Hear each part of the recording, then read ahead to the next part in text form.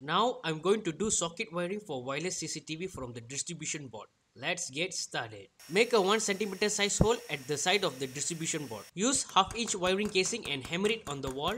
Drill 2 holes for PVC box. Fix the PVC box on the wall. Run 2.5 mm live neutral earth wire from the socket base to the distribution board. Connect live neutral earth wire at the socket terminal and fix the socket on the PVC box. At distribution board, connect the neutral and the earth wire at the terminal and connect the live wire to the MCB. After done connecting the wires, turn on the MCB. Use the socket tester to test the socket and the socket is working perfectly fine. Drill another two holes. Install custom made stand on the wall for CCTV. Install the CCTV bracket on the stand. Fix the CCTV to the bracket and plug the adapter and turn on. Now the wireless CCTV is ready for surveillance. Thanks for watching. Don't forget to like, share and subscribe and comment down below what's the next electrical video you want me to do. Follow up for more electrical videos.